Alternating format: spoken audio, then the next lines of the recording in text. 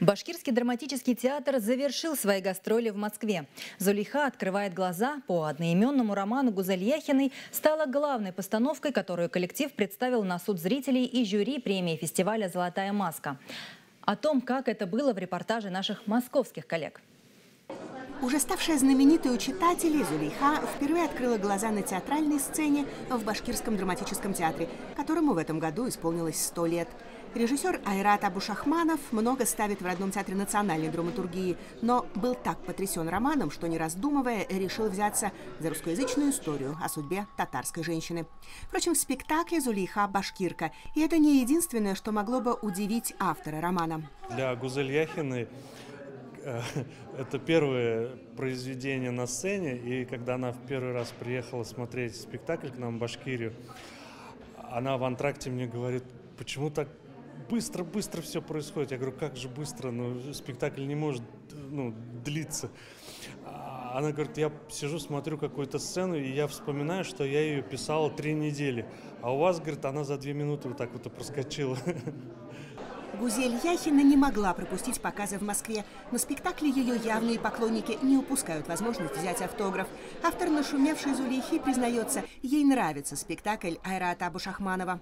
Мы совпали в главном, в двух очень важных вещах э, с режиссером-постановщиком Сайратом Абушахмановым.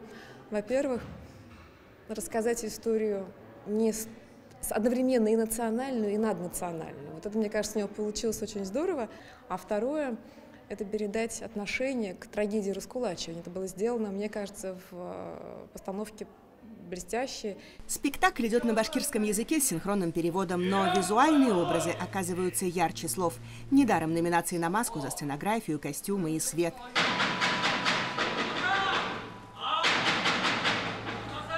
Роман Гузели Яхиной описывает драматический период в истории страны 30-е и 40-е годы 20 -го века. Раскулачивание, репрессии, ссылки – страшный фон судьбы главной героини Зулейхи. В спектакле ее играет Рима Кагарманова. Актриса всегда сама наносит свой грим. В этом есть что-то сакральное, помогающее настроиться. Этот грим же не просто так, он что-то значит для образа, для спектакля. Наши красноармейцы, то есть э, люди, которые, ну, как бы, более такие отрицательные, они глиной э, намазаны, а я э, как бы деревенская девочка, это белой глиной. Действие спектакля мифологизировано. Быль через сказку, жуткая правда через метафоры. Чекист оборачивается Сталином, а расстрелянный муж Зулейхи – медведем в окружении призраков умерших дочерей. В Уфе билеты на спектакль раскупают за два месяца. В Москве с шестью номинациями на «Золотую маску» а выступать почетно, но очень волнительно. В Москву, когда приезжаешь или еще куда-то, зритель очень внимательный, тишина.